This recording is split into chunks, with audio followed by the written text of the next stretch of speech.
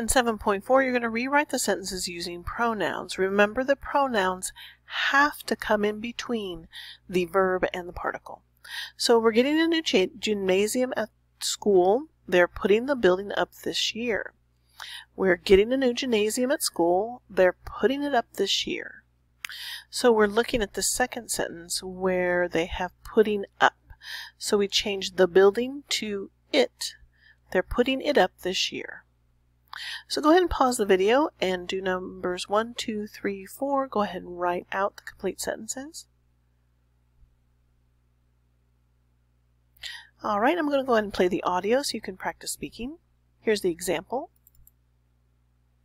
We're getting a new gymnasium at school. They're putting it up this year. Number one. It's not a problem. We'll come over and pick it up from your place.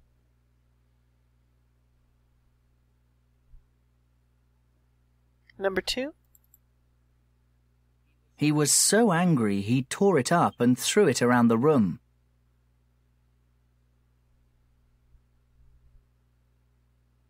Number three.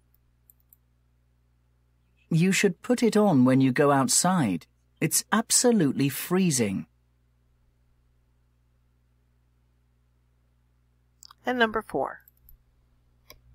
If you cut it out, you can use it to get two for the price of one at the supermarket.